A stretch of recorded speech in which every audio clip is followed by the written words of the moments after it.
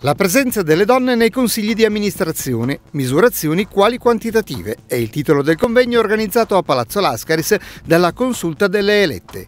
L'obiettivo, nell'ambito del progetto Il Rosa e il Grigio, promosso dal Dipartimento Politiche per la Famiglia della Presidenza del Consiglio dei Ministri, è quello di incrementare la presenza femminile ai vertici aziendali.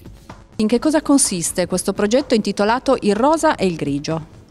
Allora, il progetto Rosa e il Grigio è un progetto che mira a, a incrementare la presenza di talenti femminili all'interno dei ruoli di leadership, ruoli decisionali, grazie allo scambio intergenerazionale, quindi attraverso le esperienze di manager più grandi verso eh, le, le, nuove leve, diciamo. E questo è molto importante perché eh, abbiamo i primi risultati positivi eh, della legge 120-2011, la legge sulle quote, eh, che dopo tre anni vede salire la presenza presenza delle donne all'interno dei CDA delle società pubbliche al 20%.